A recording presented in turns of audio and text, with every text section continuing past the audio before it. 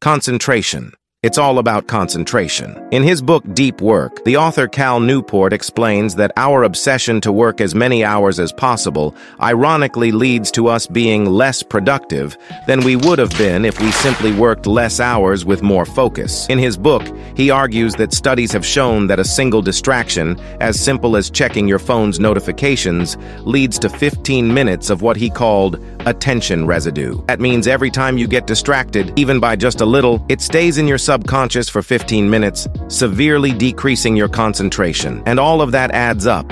Attention residue leads to shallow work, which I guarantee is how you work because it's how everyone works. So if you want to have a decisive advantage on your competition in the coding job market, start using deep work. Deep work, also known as the zone or flow state, is basically when you're so utterly focused on something with zero distractions that you think about nothing else but that one task. And 100% of your energy is directed toward that one task. Studies show that one hour of deep work is literally the equivalent of four hours of shallow work. That means that if you only only worked four hours of deep work a day, you'd be just as productive than someone working 16 hours a day with shallow work. And it's a skill. The more you do it, the better you get at it. Unfortunately, this also applies to shallow work. The more shallow work you do, the worse you become at deep work. Now that you know how awesome deep work is, how do you actually implement it?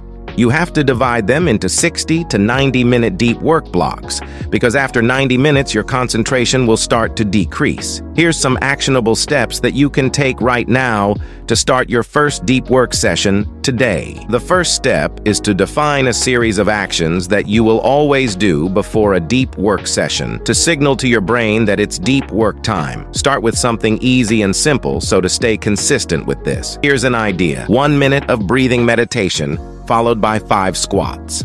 Second step is to work for 60 to 90 minutes with zero distractions. At first, you'll get thoughts trying to distract you from your deep work. Just ignore them, and don't get angry at yourself if you fall for it. This is what you're training when doing deep work. You can also meditate daily to practice this skill. Third step is to rest. Don't go on social media, video games, or anything else that would spike your dopamine levels. Just sleep for 20 minutes, or maybe read a book. Something that actually rests your brain. Then you repeat these steps until you finish all of the deep work you wanted to do that day. Unfortunately, even masters of deep work can only do at most four hours of deep work per day, and beginners can only do one. So to stay consistent, you should start at one hour of deep work. Also, remember that shallow work is not bad within of itself. Cal Newport, in one of his podcasts, explains that you should see shallow work as a way to keep the lights on. So just about any low-intensity task that's just routine to you and deep work is for high-intensity tasks that move your goals forward. If you're grateful for this advice, then like and subscribe now. If not, you can just dislike.